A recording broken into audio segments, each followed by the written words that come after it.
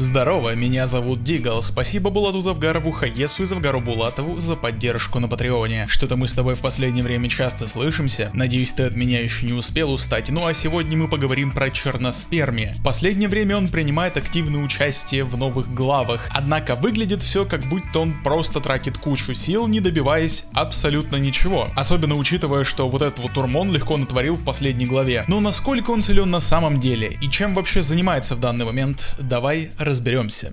Во-первых, ЧС очень сильный даже без трансформации в мульти или злато формы, как бы это ни выглядело в данный момент времени. В нем 13 триллионов клеток, по крайней мере по вебке, так что он может мутить вот такого вот рода атаки без особых для себя потерь, по крайней мере в манге. То, что он не добивается особых результатов, скорее показывает нам не насколько он слабый, а насколько герои С-класса сильные. И все же здесь все не просто так, у него есть план. Если хотя бы один клон пролезет сквозь защиту, он может моментально переместить огромную часть массы туда, как уже делал несколько раз, вылезая из ниоткуда с огромной силой, например, вот тут вот с Геносом. Конечно, это не работает против кого-то типа Темноблеска, но там Атомному Самураю или Бенгу можно вполне себе влепить, если получится. К тому же, герои постепенно выматываются, безостановочно защищаясь, что идет на руку условно бесконечным силам ЧСа. И как я уже сказал ранее, ему достаточно всего лишь одной ошибки для того, чтобы влететь полной силой. Грубо говоря, он распространяет свое влияние по всему полю боя и выжидает моменты для атаки. Скорее всего, до этого все его противники не могли противостоять таким чисто огромным количеством. И все же сейчас ему приходится идти на такие более крайние меры. Так что каждый его клон очень слабый сам по себе. Он поделил их уже несколько раз, уменьшая силу каждого по отдельности, да может быть тигриного или волчьего уровня. Но смысл-то просто в том, чтобы найти уязвимость и атаковать, а не в том, чтобы каждый отдельный представлял какую-то угрозу особую. Это я к тому, что кто-то там скейлил атаки пружинищего Усана, пробив его демонических уровней и так далее. Хотя пружинищий Ус может пробивать демона, но черноспермий здесь все-таки не демонического уровня. Клонов создает, а более таких слабеньких. Ну и также, во-вторых, ЧС пытается завалить героев массой, потому что так безопаснее для него. Объединяться в формы означает, что если эту форму победят, он потеряет всех клонов сразу, в то время как масса помирает по одному. А всяким челикам типа Бенга или Атомного Самурая разобраться даже с довольно сильными клонами не представляло бы особой проблемы, поэтому ну а зачем? С другой стороны, поскольку в его противниках, по крайней мере был раньше темноблеск, у него не особо все получалось. Скорее всего, скоро ему придется объединяться в мультиформу, потому что фюрер там что-то совсем уже бесноваться начал. Может быть именно мультиспермий прикончить нашего урмончика, поскольку сейчас непонятно, кто его побеждать будет. Хотя в любом случае нам стоит ожидать мультиформу уже достаточно скоро, я думаю. В общем, как бы оно ни выглядело, черноспермий является сильным сам по